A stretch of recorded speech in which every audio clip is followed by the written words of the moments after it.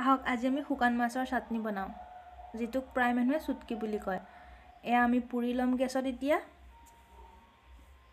অকণমান ৰঙা হোৱাকৈ এই দুই নম্বৰটো পুৰিলোঁ।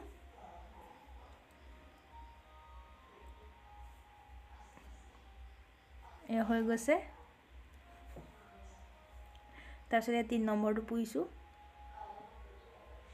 মানে টোটেল তিনিটা হেৰি তিনিটা হেৰি মাছৰ। অঁ তিনিটা সৰুকৈ কমকৈ মানে আৰু আৰু এতিয়া?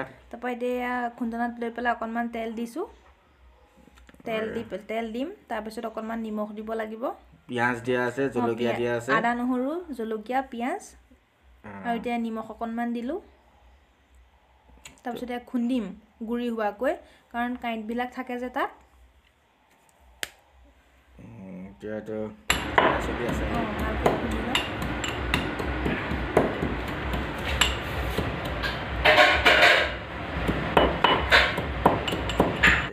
খুন্দি হৈ আছে ভালকৈ গুড়ি হ'ব লাগিব।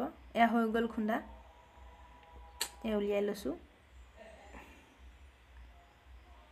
উলিয়াই পেলাই আৰু কি কৰিবা এতিয়া? এতিয়া উলিয়াইছোঁ উলিয়াই পেলাই ইয়াতে অকণমান বইল আলু। আলু, অঁ, আলু। কালাৰটো অকণমান য়েলো হৈ গৈছে যে? এয়া হৈ গৈছে মানে আমি ভাজি বনাইছিলোঁ ভাজিৰ পৰা উঠাই ল'লোঁ। মানে বইল হ'লেই হ'ল আলুটো। বইল আলু হ'লেই হ'ল। এতিয়া ভালকৈ মিক্স কৰি দি পেলাই এতিয়া মানে খাব পৰা হৈ খাব পৰা হৈ গৈছে এতিয়া।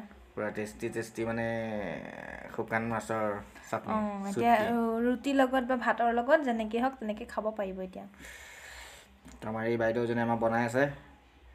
যে ভিডিঅ'টোত দেখাই দিলোঁ লাষ্টত। অকণমান জুকিং কৰি আপোনালোকে ঘৰত এনেকৈ শুকান মাছ বনাব চাটনি বনাব খাব মস্তি কৰিব। এয়া হৈ গ'ল।